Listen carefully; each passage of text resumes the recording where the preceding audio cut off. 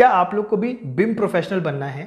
या आपको अपना कैरियर जो है, वो बिम के अंदर देखना है? क्या आप एक आर्किटेक्ट हो सिविल इंजीनियर हो, या फिर आप एक एमईपी इंजीनियर हो? तो अगर आपको अपना कैरियर बिम के अंदर देखना है तो आप एकदम सही वीडियो पे आए हो। मैं इस वीडियो में आप लोग को तीन मेजर स्टेप्स बताऊँगा, जिनको कि फॉलो करके आप एक बिम प्रोफेशनल बन सकते हो। So without getting any further delay let's get started with this video सबसे पहला step learn BIM software and get a job as a fresher मतलब कि आपको एक सॉफ्टवेयर सीखना है और उसके बेस पे आपको एक जॉब लेनी है as a fresher in BIM firms only इसके लिए क्या करना पड़ता है? कुछ उसके ऊपर बात कर लेते हैं। वैसे तो ऑल दो मैंने इसके ऊपर ऑलरेडी एक वीडियो बना रखी है अपनी, आप चाहें तो मेरे आई बटन पे क्लिक करके देख सकते हैं।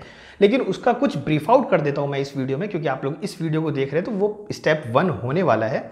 जिसमें कि आपको लर्न करना पड़ता है कुछ सॉफ्टवेयर को।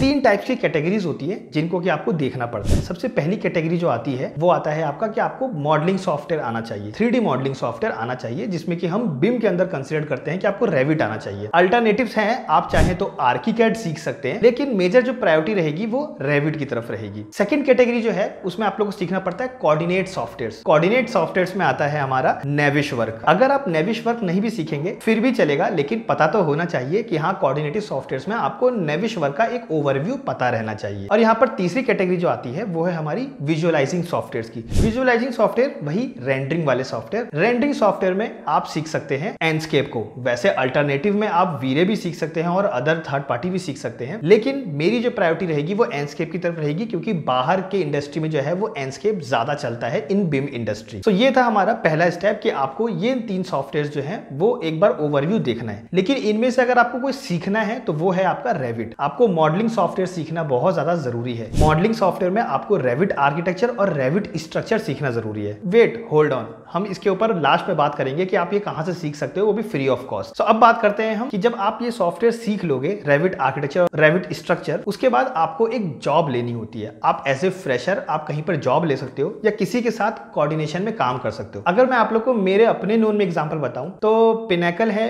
बीम इंडस्ट्री की तो पिनेकल ने हमारे ही यूनिवर्सिटी से, हमारे ही बैचमेट्स में से ऑलमोस्ट 10 से 15 बच्चों को जो है वो उठा के डायरेक्ट प्लेसमेंट ले लिया था। तो वो एज ए फ्रेशर उनको लेके गए, उनको सिखाया और उनसे काम करवाया। आप चाहे तो ये भी कर सकते हैं, जैसे कि मेरे, अगर मैं दूसरे फ्रेंड्स का एग्ज़ाम्पल दूँ तो उन्होंने क्या किया था कि उन्होंने एज ए फ्री काम किया था। मतलब कि उनका कोई एक कलीग था जिन्होंने अपना फर्म खोला था और वो बिम मॉडलिंग के अंदर काम कर रहे थे बिम प्रोजेक्ट के ऊपर काम कर रहे थे। तो उनका कुछ छोटा सा पार्ट जो है ना, वो उन्होंने किया था। और इसी बदौलत उनको रेविट सीखने को भी मिल गया और छोटा सा उन्होंने काम भी कर लिया। अब इससे प्रॉफिट क्या हुआ कि उनके पास वो प्रोजेक्ट देखने को और एक्सपोजर मिल गया। सो so, मेन जो कंसर्न है वो है हमारा एक्सपोजर लेना। चाहे आप जॉब से लीजिए चाहे आप खुद की फ्रीलैंसिंग प्रोजेक्ट उठा के लीजिए चाहे आप किसी के साथ कोलेबोरेट करके लीजिए या खुद के फॉर्म खोल के खुद ही आप एज ए बिम मॉडलर आप काम कर सकते हैं। लेकिन द मेन कंसर्न इज़ कि आपको एक्सपोजर लेना पड़ेगा। सो so, ये था हमारा फ़र्स्ट स्टेप जिसमें कि बहुत ऑब्वियस था कि आप लोग को एक सॉफ्टवेयर सीखना है और उस सॉफ्टवेयर को स्ट्रेंथ बनाते हुए आपको जॉब लेनी है जो कि बिम इंडस्ट्री के अंदर होने वाला है चाहे आप फ्रीलैंसिंग के लिए कीजिए, चाहे आप जॉब के लिए कीजिए,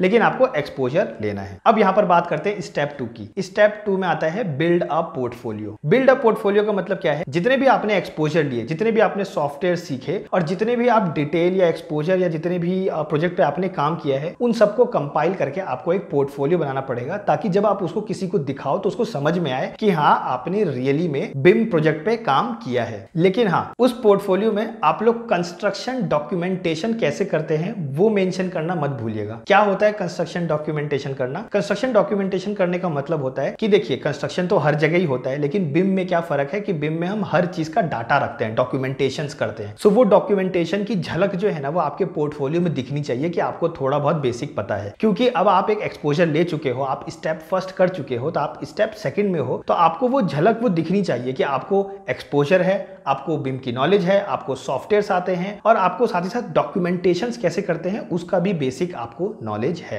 स्टेप थ्री पे आने से पहले हम ये समझ लेते हैं कि आखिर स्टूडेंट्स जो हैं या जो आर्किटेक्ट्स हैं या जो प्रोफेशनल्स हैं वो आखिर बिम कैरियर में स्विच करते क्यों हैं? सो so, अगर बेसिक ओवरव्यू की बात करूँ तो सबसे पहला रीजन आप जानते ही हैं मनी की वजह से पैसे की वजह से। यहाँ पे सैलरी आपको ज़्यादा देखने को मिलती है। दूसरा रीजन जो है आर्किटेक्चर और इंजीनियरिंग के कंपेरेटिवली ये जो बिम इंडस्ट्री है, वो ज़्यादा रेगुलेट है। आर्किटेक्चर तो आप कह सकते हो कि अनरेगुलेटरी में आती है, अभी उतने अच्छे से ऑर्गेनाइज नहीं है, लेकिन हाँ बिम ऑर्गेनाइज है बिम रेगुलेटेड है, और साथ ही साथ अगर मैं बात करूँ तो इंडिया में तो बूमिंग है, लेकिन बाहर के कंट्रीज़ की अगर बात करें तो वहाँ पर मैंडेटरी है।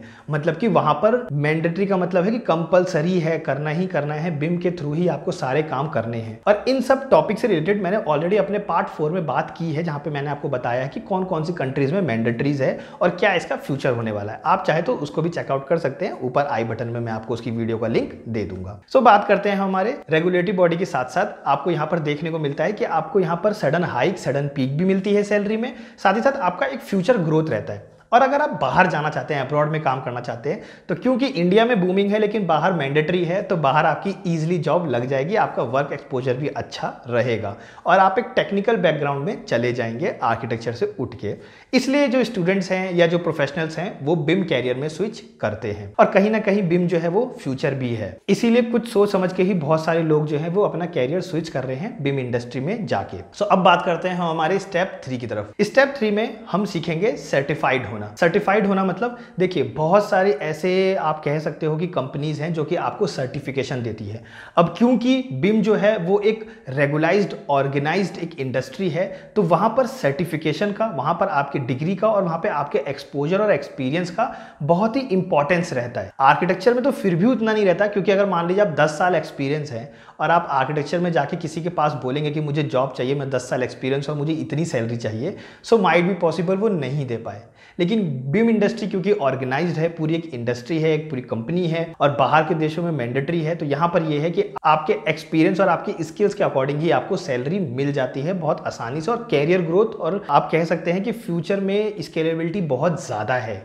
बिम के अंदर। सो so, अगर यहाँ पर बात करें तो क्योंकि ये रेगुलाइज्ड और ऑर्गेनाइज है तो आपको सर्टिफिकेशन ज़रूर से काम आएगा यहाँ पर। तो यहाँ पर सर्टिफिकेशन लेना भी एक तरीके से कह सकते हैं कि वैसे मैंडेटरी तो नहीं है लेकिन आपस में मान के चलिए कि मैंडेटरी है और आपको सर्टिफिकेशन ले लेना चाहिए। जनरली जिन तीन सर्टिफिकेशंस को मैं जानता हूँ मैं उनके बारे में आपको बता देता हूँ बाकी आप खुद से भी रिसर्च कर सकते हैं। जिसमें सबसे पहला आता है एसीपी एसीपी का फुल फॉर्म है ऑटोडेस्क सर्टिफाइड प्रोफेशनल तो ऑटोडेस्क वाले जो है वो खुद से सर्टिफिकेट दे रहे हैं। अगर आप उनकी वेबसाइट पे जाके चेकआउट करोगे वो खुद से आपको सर्टिफिकेट प्रोवाइड करेंगे। कैसे देते हैं ये सर्टिफिकेशन इसके ऊपर बात कर लेते हैं।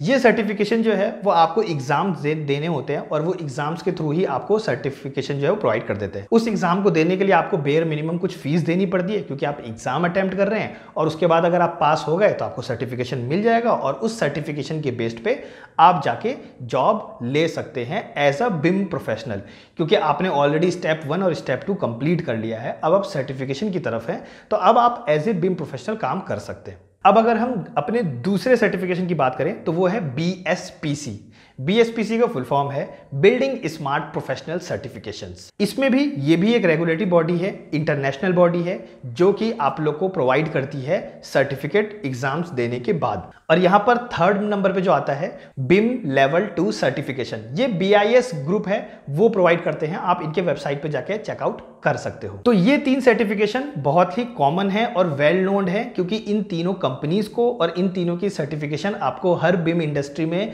जनरली जो है वो एक्सेप्ट कर ली जाती है। सो so, आप ज़रूर से सर्टिफाइड हो सकते हैं। बस आपको एग्ज़ाम की फ़ीस देनी पड़ती है। एग्ज़ाम देना है और आपका काम हो जाएगा और आपको सर्टिफिकेशन मिल जाएगा। सो आई होप सो कि आपको ये वीडियो समझ में आई होगी और आपको पूरा एक मॉडल पता चला होगा कि किस तरीके से आप एक बिम प्रोफेशनल बन सकते हैं बिम इंडस्ट्री के अंदर जाके और अपना कैरियर इसमें बना के। सो so, यहाँ पर आपको कहीं जाने की ज़रूरत नहीं है। मैं आपको दो वीडियो रिकमेंडेड कर रहा हूँ। ऊपर वाली जो वीडियो है वो मैंने आपको बिम के डिटेल में बताया है कि एल क्या होता है L O D three hundred four hundred five hundred क्या होता है कौन सी कंपनीज़ में मैंडेटरीज हैं ये सारी चीज़ें बताई हैं। और ये नीचे वाली जो वीडियो है ये मैंने कुछ आप लोगों के लिए अलग रखा है कि अगर आप लोगों को कंप्यूटर की नॉलेज लेनी है अपने पीसी के बारे में कॉन्फ़िगरेशन के बारे में नॉलेज लेनी है कौन से पार्ट इंपॉर्टेंट होते हैं और कौन से पार्ट को आपको लेना चाहिए थोड़ा ओवरव्यू जानना है ना अगर अपने लैपटॉप और अपनी मशीन के बारे में। तो ये वीडियो एक बार चेकआउट ज़रूर कीजिएगा। सो so, मिलते हैं फिर किसी एक नेक्स्ट वीडियो में। टिल देन बब बाय अगर आपको ये वीडियो अच्छी लगी है तो प्लीज़ एक अच्छा सा प्यारा सा कमेंट कर दीजिए कि हाँ आपको एक इन्फॉर्मेशन मिली है। और कोई भी अगर आपको डाउट है या कोई भी क्वेश्चन या कोई भी रिलेटेड टॉपिक आपको चाहिए तो आप नीचे कमेंट डाउन कर सकते हैं। मैं हर एक कमेंट को पढ़ता हूँ।